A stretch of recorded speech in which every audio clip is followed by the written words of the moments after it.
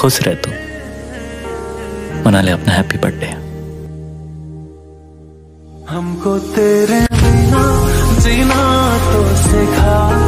चले